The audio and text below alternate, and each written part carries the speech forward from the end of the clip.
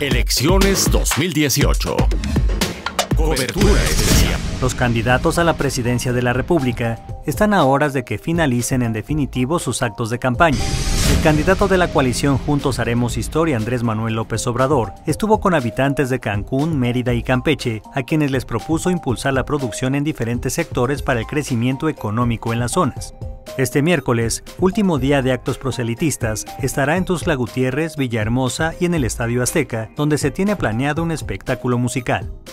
Ricardo Anaya, candidato a la presidencia de la coalición por México al frente, se reunió con habitantes de Tamaulipas y lamentó la situación del Estado y aseguró que esta cambiará de ganar la elección el próximo primero de julio, pues trabajará en recuperar la seguridad de las familias. Anaya Cortés cerrará este miércoles sus actos de campaña en la Valeriana de la Feria de León en Guanajuato.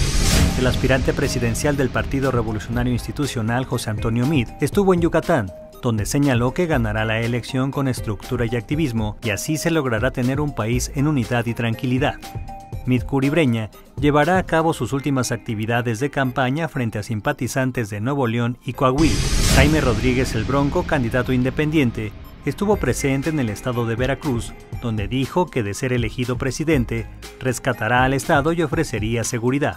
El aspirante sin partido llevará a cabo su cierre de manera digital a través de sus redes sociales. Notimex.